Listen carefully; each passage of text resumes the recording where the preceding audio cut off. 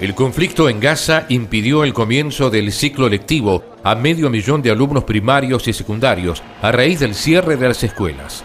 Desde el inicio de la operación israelí Filo Protector, unas 219 escuelas resultaron dañadas, 22 de las cuales no podrán volver a ser utilizadas.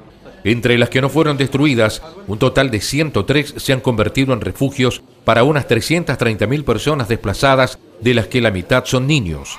El primer ministro israelí Benjamín Netanyahu aseguró que la ofensiva militar sobre Gaza continuará aunque comience el nuevo ciclo escolar tanto en Israel como en territorio palestino. Además, se prevé que el inicio del curso escolar no tenga lugar hasta que no hayan pasado dos o tres semanas de un alto el fuego definitivo.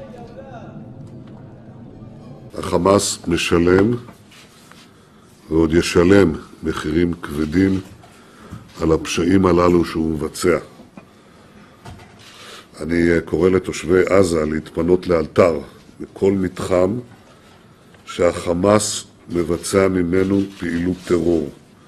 כל מקום כזה הוא מטרה עבורנו.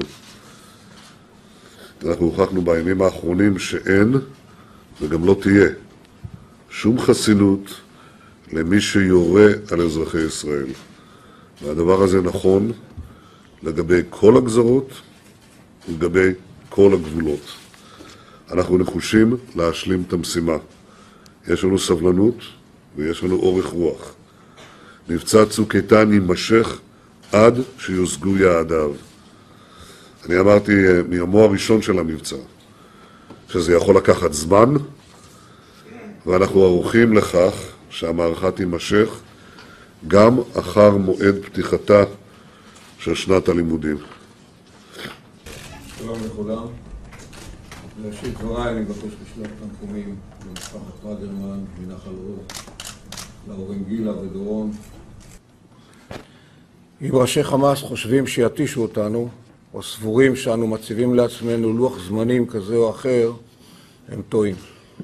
איננו ממהרים לשום מקום, יש לנו סבלנות, יש לנו אורך נשימה.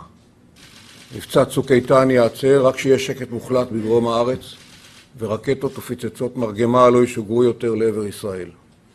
עד אז נמשיך בכתישה הקשה של חמאס ותשתיותיו, בשלב זה מהאוויר.